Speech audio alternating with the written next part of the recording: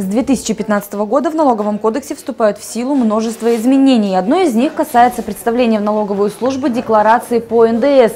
С нового года организации будут сдавать ее по новой форме и в другие сроки.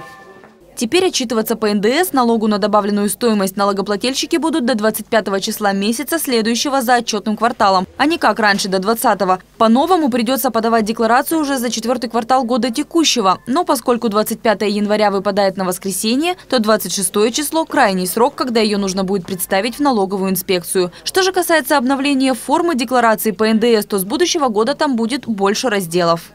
Согласно пункту 5 прим. 1 статьи 174 Налогового кодекса Российской Федерации, начиная с налогового периода первый квартал 2015 года в налоговую декларацию по налогу на добавленную стоимость подлежат включению сведения, указанные в книге покупок и книге продаж налогоплательщика.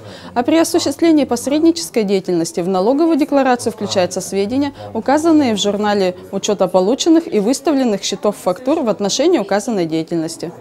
Что касается формы подачи декларации, то в будущем году в инспекции будут принимать только электронные документы. Ранее налогоплательщик мог представить декларацию в бумажном варианте, и у инспектора не было причин отказать в приеме документа. За нарушение приходилось лишь заплатить 200 рублей штрафа за несоблюдение способа представления. С 2015 же года у организации уже не будет вариантов, только электронная отчетность.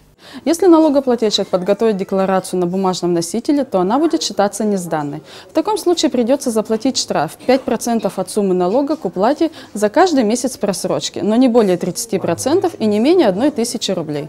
Так что плательщикам НДС нужно уделить особое внимание подготовке деклараций к сдаче в налоговую инспекцию по телекоммуникационным каналам связи. Поэтому, чтобы сократить риски, представить налоговую декларацию по НДС за первый квартал 2015 года лучше заблаговременно, то есть за 5-10 дней до установленного кодексом срока сдачи документа в налоговую службу.